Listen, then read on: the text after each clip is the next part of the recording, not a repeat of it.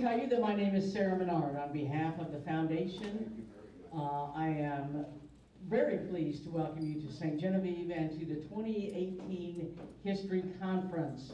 Uh, I think we have a great lineup of speakers for you this year.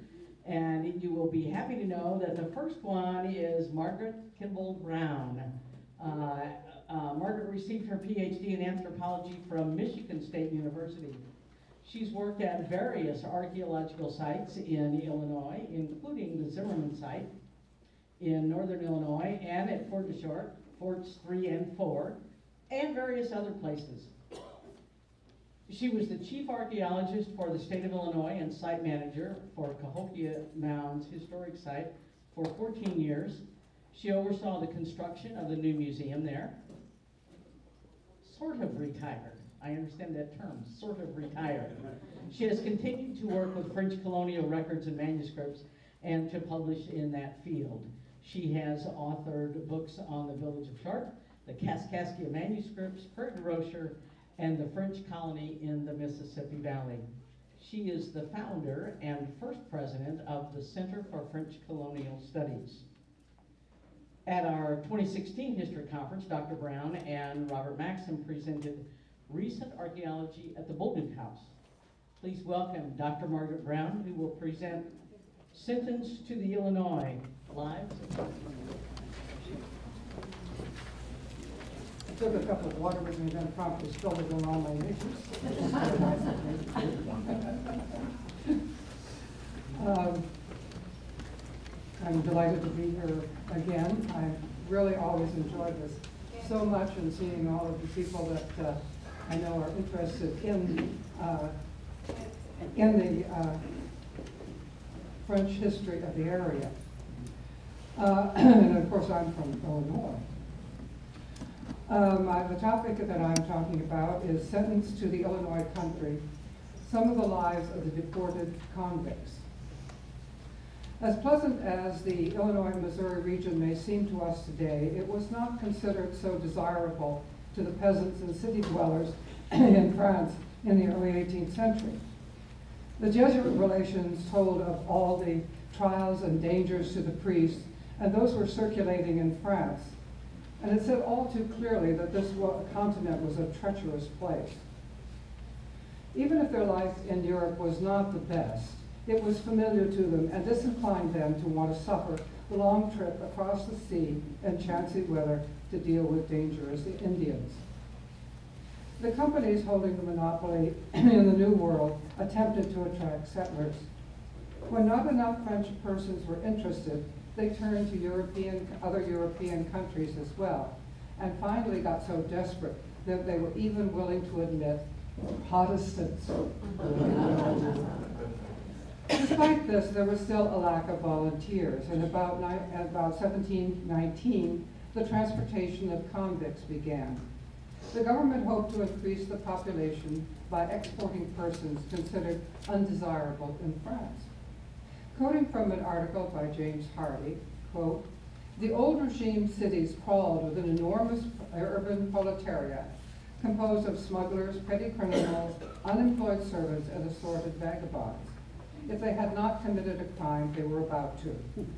The most dangerous of those rabbles were the salt and tobacco smugglers, who sold salt and tobacco at far less than the government monopoly prices, costing the crown millions of dollars, unquote. Not only men were shipped out, but women too, whom the government claimed were licentious or troublemakers, and also female orphans who had no hope of a future in France. For about three years, people considered undesirable were shipped to the New World. But it became evident this transportation was not a success. The officials in New Orleans found that the men were unfamiliar with agricultural work and disinterested, disinterested in hard labor. Quoting from Giraud, quote, the women unaccustomed to the way of the life of Parisian artisans were roughly transplanted to an unhealthy and primitive place. Three only were able to be well established. The others were forced to resign themselves to more mediocre existence, unquote. By the end of 1721, although about 900 persons had been shipped over, only about 60 were still alive in the New Orleans area. and very few were integrated into the community there. But for some who were fortunate enough to end up in the Illinois country, life was different. At least eight men, six women, and a married couple adjusted to their life, their new life, some more successfully than others. So something about their lives. 14-year-old Marianne Renee Charbonnet was sent over from the poorhouse in La Rochelle in 1719, where she had been since a year old. She married Francois Faustin, who arrived on the same ship. In the Illinois in 1725, Faustin contracted with Philippe Renault to do manual labor for a year for 500 livres and to have his wife, Marie-Reine, be employed as wet nurse and to do mending. Faustin died the following year, and then Marie-Reine married Jacques Lévicomte. He agreed to care for the two Faustin children. Following Lévicomte's death, she married for the third time to Jean Lemaz Berry. There is no uh, death record for her, but she lived until at least 1741, when she would have been about 36 years old. Long lives were not too common in those days, but one convict couple did have a long life in the Illinois, in Illinois. Ambrose Moreau and his wife Jean Paul had been shipped over in 1720 as convicts. In 1726, they bought a house at the village of Chartres, but soon moved to Prairie du Rocher, where they farmed for the rest of their days. Both lived to be 80 years old.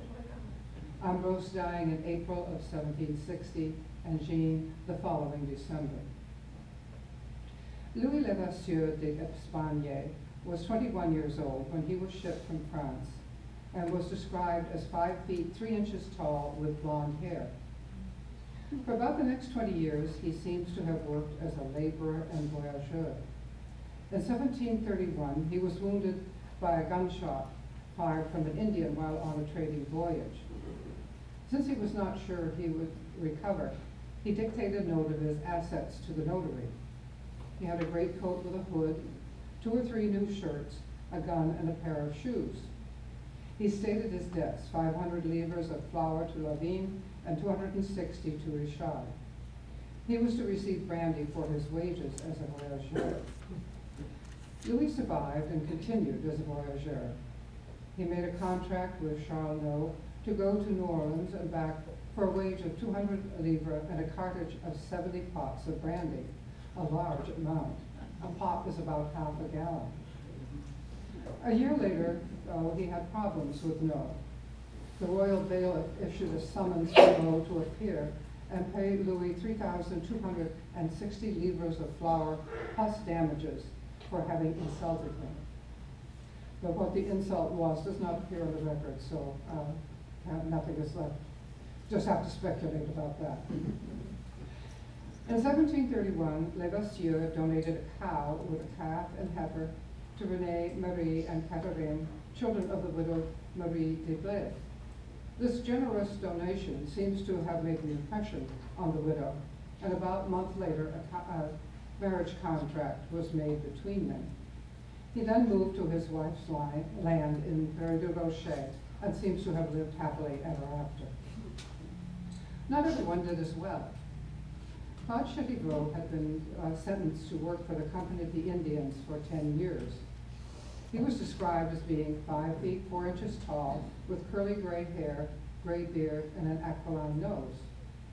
He did not like life in Illinois. He was accused of attempting to desert, and go to Canada, and after a court trial was sentenced to finish out his time in Illinois. He was supposed to stay in the village of Chartres, but apparently was allowed to go to Kaskaskia also, where he then was accused of, of gambling with Mark Parks. The decision on that case is not known. And then there was Blanche Vigneron, convicted of fraud and sent over. She married a shipmate, Antoine Camus, who had been caught evading the salt tax and is described on the ship list as being 41 years old, 5 feet 3 inches tall, with black hair. For a while, they lived in Fort Orleans, then moved to Chartres, where Camus was listed as having a house in lot. Blanche was called before the council, for insulting another woman, Marie Medard, wife of Biron. Marie informed the council, quote, that she had been insulted in an outrageous and prejudicial manner by one Blanche, wife of Antoine Drummer. And since the insult and likewise the calumny will reflect, reflect on her, not only on her petitioner, but also upon her children, claiming that she had been beaten and branded by the executioner of criminal sentences, end quote. There is no evidence that Marie was a convict. Unfortunately, the court records have survived. But when Marie made her marriage contract with Biron, it had been witnessed by a number of the important figures of the court. The officials, Darcochet, Chassin, Delamore, Ursine, Savares Langoiserie, and the Commandant Boisbriand. So it is unlikely that Blanche won the case. After Camus died, Blanche married Louis Thomas. They did not do a marriage contract, so in 1739 they made a mutual donation of property agreement in the event of the death of one of them. Blanche died in 1740. They were then living in a shingled house with two attached sheds on a standard 25-12 square lot. A few items for their inventory were a dozen and a half pewter plates, three copper cauldrons, a walnut buffet with a hutch, and a feather bed with a cover of dog's hair. They had cattle, pigs, and two male slaves. The whole property was va- valued at five thousand three hundred and two livres, a goodly sum. Then someone raised a question about the cause of Blanche's death. An accusation was made that Louis had beaten his wife to death. Her body was exhumed and examined by the royal surgeon. No evidence of beating was found. Thomas was exonerated, but he had to pay court costs and an elaborate funeral. The amount for the church and priests was thirty-three livres, seven livres, ten sols for the verger, and twenty francs for the two chanters to lead the procession to the cemetery. The coffin was made of four planks of walnut, eighteen livres, and for porters to carry the coffin, five livres each. After this, Thomas was able to accept the mutual donation of property that he and Blanche had created a year earlier. By 1742, when Louis would have been in his early 50s, he was suffering from illness and made a donation of the three properties he owned, livestock, slave, and other items, to Father Gagnon of the Seminary of Foreign Missions, and 600 livres for prayers for the soul after death. However, in 1744, he changed this and donated everything to Louvier to care for him until his death. The date of his death is not known, but in 1748, Louvier received 2,200 livres from Blanche's estate, which had been held until it could be proved she had no other heirs. So it looks the officials were not quite convinced after all about Thomas.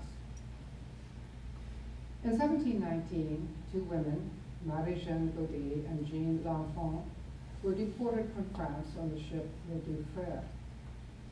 In the Illinois, Marie-Jeanne soon married Pierre Texier, and in the census taken in 1726, they were listed as having one child. By 1731, when Texier died, there were three children, Pierre, Jacques, and Marie-Jeanne, and Marie-Joseph. Texier had a business partner, Claude Benito Duchesne, and the widowed Marie-Jeanne married him. Ten years later, Marie-Jeanne, then probably in her early thirties, died. An inventory of their property was made. Although they had a a one by fifty arpent farm, their material goods were sparse. Their their residence was a house twenty-five by eighteen toises, a post in the ground with a straw roof. On the property was another small house in poor condition and a well with deteriorating wooden casing. Duchemin does not seem to have been a good provider, and he was not selected as a guardian for the children. The eldest child was adopted by Jean-Baptiste Becquet, whose wife Catherine, uh, Catherine was his godmother. The Becquets found promised to feed, dress, and care for him until he was eighteen, quote, with the most suitable instruction in the Catholic, Apostolic, and Roman Church, unquote, and to teach him Becquet's trade of locksmithing, with the proviso, quote, if he is inclined to it, and not being answerable for any evil doing that may result from it, end quote. Verfenet was reported guardian of Jacques and Marie Joseph, but a few months later, these children were turned over to Francois Lacroix, who lived in a little nearby village of Saint-Philippe. Re-enter Jean L'Enfant, who had been on the ship with Marie Jeanne. In the 1725 census, she was listed as being married to Etienne Poujat. After his death, he married Jean Payot, a soldier, and he died shortly afterwards. Then she married for the third time in 1739 to Francois Lacroix. Jean had no children from any of her marriages, but Lacroix had the orphan Texier children. She had traveled on the ship with Marie Jeanne, and probably they maintained contact in the Illinois. Now she became the foster mother for the children. So many of the convicts were able to find a new life in the Illinois. Although they were forced to come here, they probably had a better life than they would have had in France. And many left descendants to enrich our communities of today. Thank you.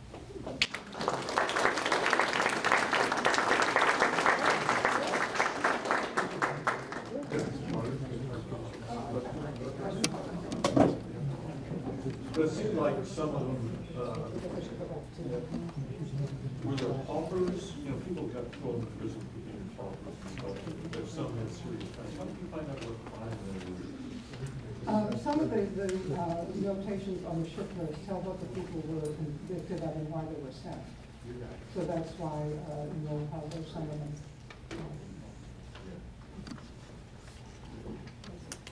Yeah, Were some of these filles du roi, I'm sorry. were they under the guardianship of the king? Daughters of the king. The daughters of the king, filles du roi?